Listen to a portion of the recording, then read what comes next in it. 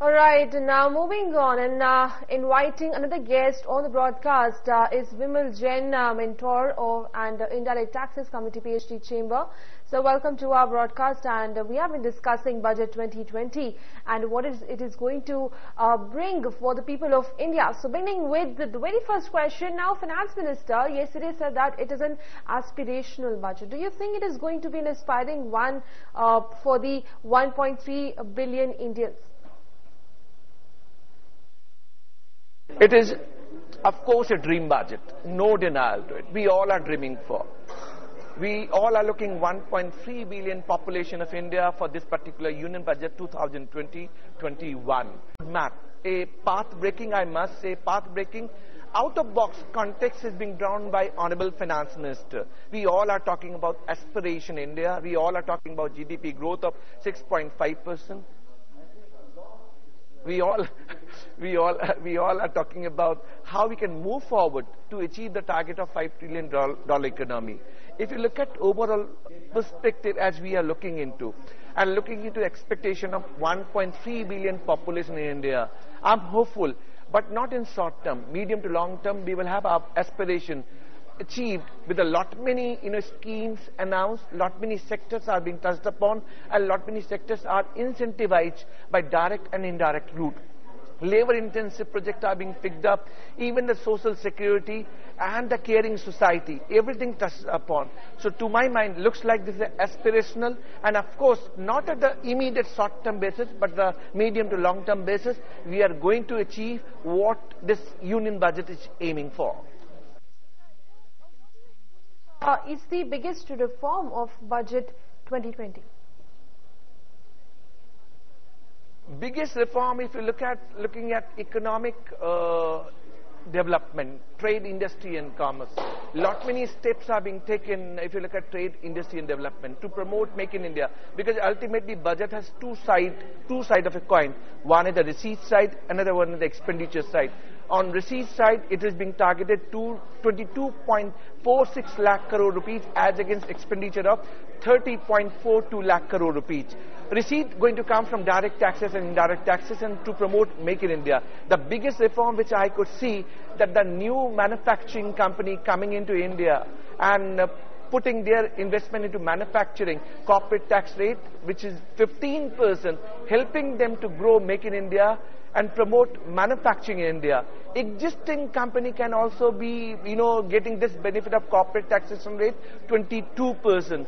Personalized income tax reduced as you can see, you have seen that personalized income tax from 5 lakh to 10 lakh which was 20%, now rate rationalization. 5 lakh to 7.5 lakh, 10%, 7.5 lakh to 10 lakh, 15%. This rate rationalization in the hands of personal income tax will give more disposable income in the hands of individual.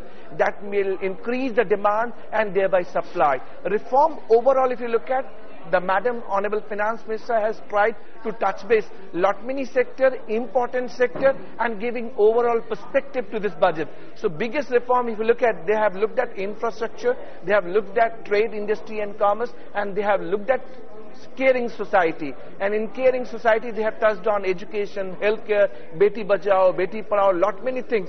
And overall perspective of reform is being picked up to take this budget way forward. So I term this budget as a way forward. Right. So um, when we talk about budget, uh, then of course this year unemployment has been one of the major focus, and people were really waiting as for what uh, budget 2020 is going to, uh, you know, bring for the youth of India. So do you think this budget is going to lead uh, to job creation? Startup. Startup uh, is uh, happening in India. In realistic term, we are finding job creation is not happening to the satisfaction and lot many voices are against it. Job creation is at most required and this can happen only when we make in India, promote make in India. And for promoting Make in India, we have seen lot many steps are being taken. Reduction in corporate income tax rate, DDT gone, dividend distribution tax gone, which was resulting into double taxation and no credit in the hands of foreign uh, investors. Now what happened? With these process, we are finding that uh, job creation will come through a direct and indirect route. Startup India lot many initiative, lot many income tax benefit are being envisaged.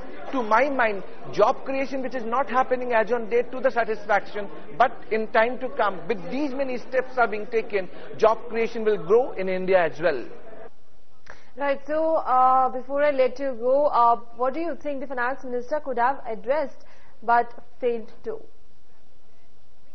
Uh, the major point from GST perspective. She talked about GST. GST में उन्होंने कहा कि invoicing आएगी ई return आएगा लेकिन जब मैं इसको देख रहा हूँ तो ने जीएसटी में एक जो बिग अनाउंसमेंट हो सकता था जो उन्हें नहीं कहा rate rationalisation today we have got five tier rate zero percent five percent 12%, 18% and 28%. Madam honourable finance minister ने जीएसटी रेट टू टायर होने चाहिए, कोई अनाउंसमेंट नहीं किया। जबकि इंडस्ट्री चाह रही है, इतने सारे रेट को आप मर्ज करें। सेकंड बिग अनाउंसमेंट हो सकता था कि आपने ई इनवॉइसिंग और ई रिटर्न की बात की, लेकिन जो हमारा सिस्टम है आईटी सिस्टम है, वो रोबस्ट नहीं है। उसको हम रोबस्ट कैसे बनाएँगे? और कैसे रोबस्ट बना के आज की डेट में हम देखते हैं कि आईटी सिस्टम में हमारे रिटर्न टाइमली नहीं जाते। उसमें सिस्टम ग्लिचेज है। कई प्रॉब्लम आ रही होती है तो हम आईटी सिस्टम को कैसे स्ट्रेंथन करेंगे? थर्ड ये हो सकता था कि जो आपने टैक्स पेयर चार्टर की बात की है टैक्स पेयर चार्टर आज की डिमांड नहीं है, कई बार की डिमांड है। हमने पास में भी टैक्स पेयर चार्टर देखा है, लेकिन टैक्स पेयर चार्टर पे रियल वॉक द टॉक नहीं होती है। आज आप देखिए सिविल लाइबिलिटी को हम क्रिमिनल लाइबिलिटी बना देते हैं टैक्सेशन में। ये होना नहीं चाहिए। तो हमें समझना पड़ेगा जो टैक्स पेयर चार्टर आना है जिसकी हम बात कर रहे हैं वो रियलिस्टिक टर्म uh, में ऑनेस्ट टैक्स पेयर को बेनिफिट करे। और हम जीएसटी को गुड एंड सिंपल टैक्स बनाना चाहते हैं। तो ऐसे कई अनाउंसमेंट जो मैं जीएसटी परस्पेक्टिव में चाह रहा था वो रोडमैप आ सकता था जो मुझे नहीं मिला। All right, thank you for having this conversation with us.